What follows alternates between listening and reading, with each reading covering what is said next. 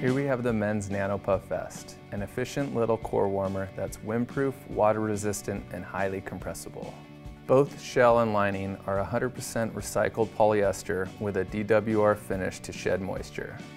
The vest is insulated with 60 gram Primaloft Gold Insulation Eco, which is the most thermally efficient synthetic insulation available.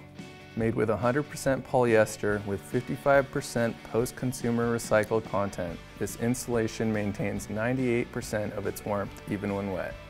The shell and lining fabrics are both Bluesign approved, which means they offer the highest level of consumer safety by employing methods and materials in their manufacture that conserve resources and minimize impacts on people and the environment.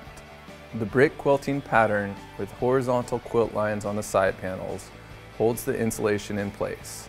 The ripstop polyester shell glides effortlessly under layers. Its center front zipper has a soft wicking interior storm flap and a zipper garage at the chin for next to skin comfort.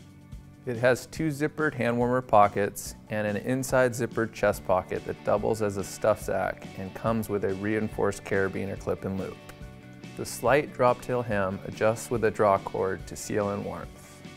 When you want to add a little more warmth to your kit, grab our windproof, water-resistant, highly packable men's Nano Puff vest.